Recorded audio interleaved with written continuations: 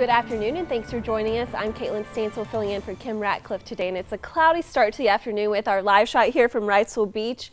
And not the warmest of days, but meteorologist Gannon Medwick joins us now. And you say it's looking to be a really good beach day starting tomorrow, though.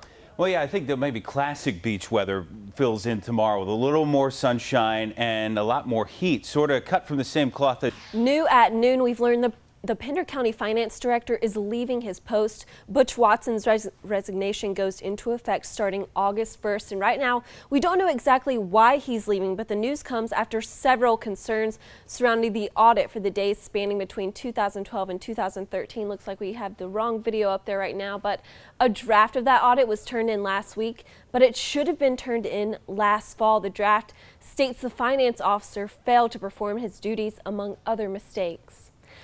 A man in Wilmington was taken to the hospital after being repeatedly punched and hit with his own bicycle by two suspects. This reportedly happened Wednesday afternoon in the 1000 block of Fox Grove Court. Now that's the right map we have there now. The victim told police he was riding a bike when one suspect grabbed it and forced him off. That's when the victim claims another suspect started punching him and hitting him in the head with that very same bike. This man on your screen, Kevin Scott, is believed to be one of those suspects. The victim in this case says the men who assaulted him took his money, credit cards, and shoes before they left.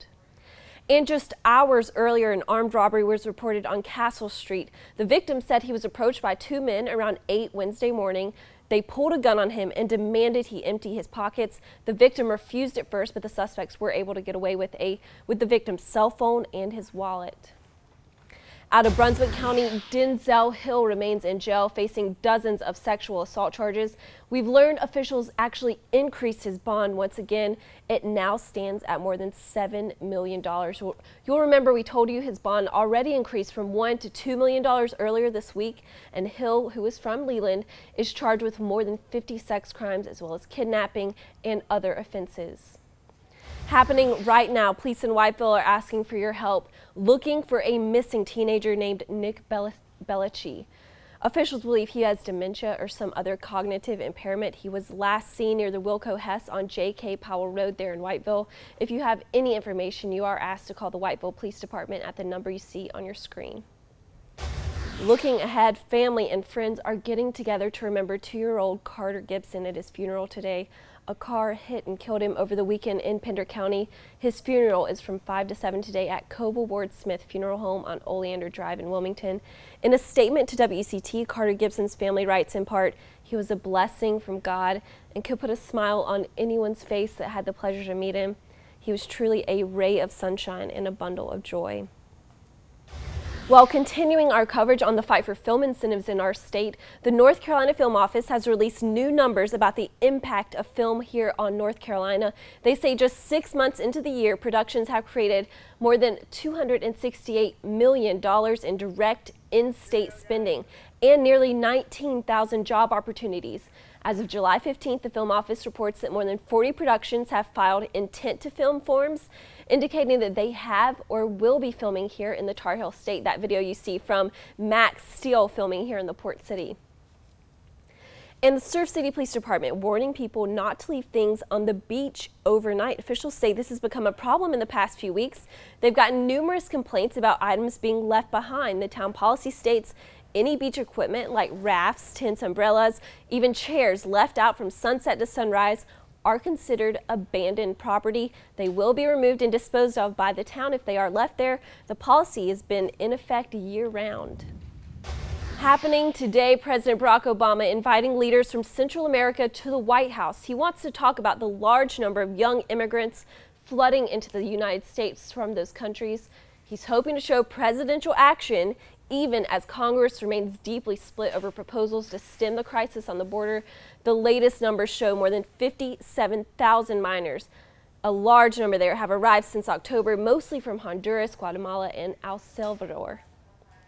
The governor of Virginia will be touring the scene of a deadly tornado there today. The twister ripped through a, ca a campground on Chesapeake Bay on Friday, Two people were killed, dozens more hurt.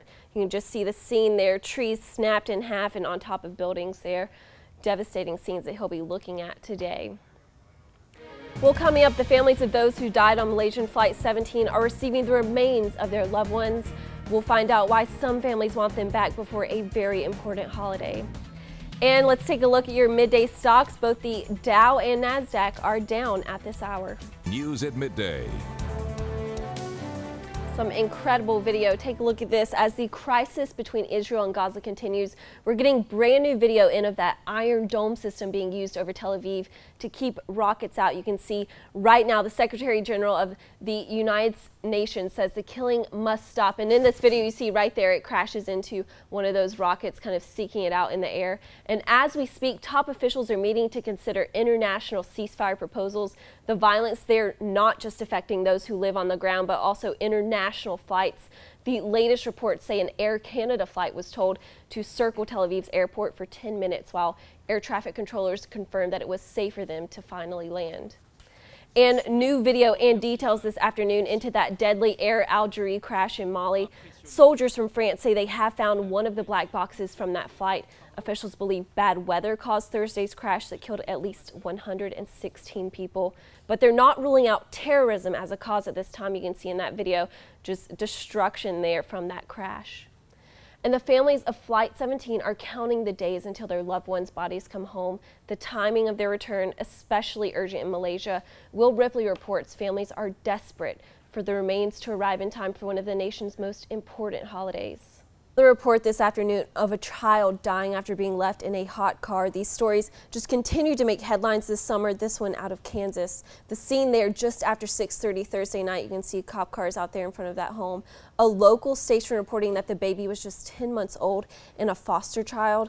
The two men who were supposed to be taking care of that baby are talking with police at this point, but these stories just continue to make you shake your head and wonder about what is going on there and thousands of you are getting money back thanks to a provision in Obamacare. And here's how those numbers break down. Health insurance providers are returning over $8 million to families in North Carolina. That's about $77 per family. More than 182,000 families are benefiting from those funds. And some insurers were forced to issue the refunds because they didn't spend 80% of their 2013 premiums on patient care. Well, listen to this heartwarming, heartwarming story. Conjoined brothers who some doubted would be alive today returned to the hospital in Dallas where they were separated to celebrate their first birthday. Janet St. James has their story.